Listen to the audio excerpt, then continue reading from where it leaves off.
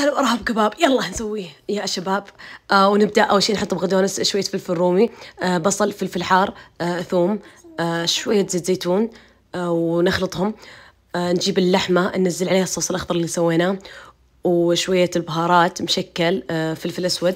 تعجنونها بأصابعكم الحلوة راح تشكلونها وكل واحد على حسب حجم يده يطلع الشكل الكبير. وراح نستخدم الإير فراير من فيليبس أو القلاية الهوائية آه، تفكونها آه، تجي معها الملحقات هذه. بنفرش ورق زبدة وبنحط عليه الكباب حقنا بعض الطماطم والبصلات آه، نقفل عليه آه، easy طبعا بالاستخدام آه، تقدرون تحددون درجة الحرارة وأيضا الوقت وفيه تسخين. يكون فيه لحم دجاج سمك كل شيء.